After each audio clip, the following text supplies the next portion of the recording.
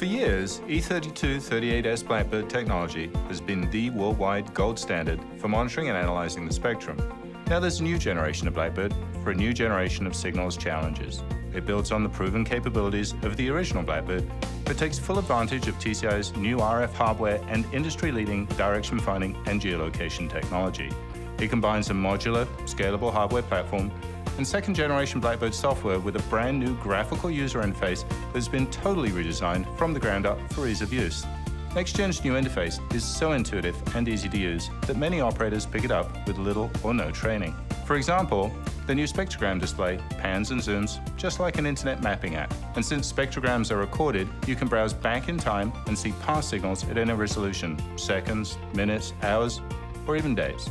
Behind the scenes, Blackbird is automatically detecting and cataloging all signal activity. So when you see an interesting signal, simply mouse over it, and the new Blackbird pops up a window showing the signal's characteristics. It doesn't get any easier than that. To search for signals of interest, simply enter the desired signal criteria and right-click a signal and use the Search Similar feature to instantly find matching signals. No typing required. Of course, the new Blackbird supports traditional real-time operations including DDC collection, point-and-shoot live audio, and modulation recognition. And with the new Look Back Collection option, you can now go back in time and capture past signals of interest without interrupting live processing and wideband recording.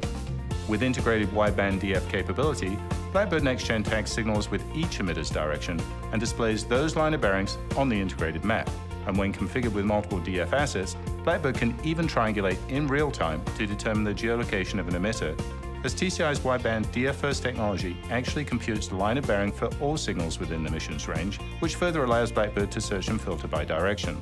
Also, areas of interest may be defined on the map, so only emitters that are within user-defined areas are displayed. You can even go back in time to find past signals from a user-defined area, and with the Look Back Collection option, you can collect those signals as well, providing a powerful new capability for next-gen operators and mission planners. The new Blackbird also takes advantage of TCI's new precision TDOA and hybrid geolocation options. And with Look Back Collection, NextGen can go back in time and provide precision geolocation and hybrid geolocation of past signals. Blackbird has always been the name for excellence among those who monitor and analyze the spectrum. Today, that name has an even brighter future. TCI Blackbird NextGen is here, reinvented for the next generation.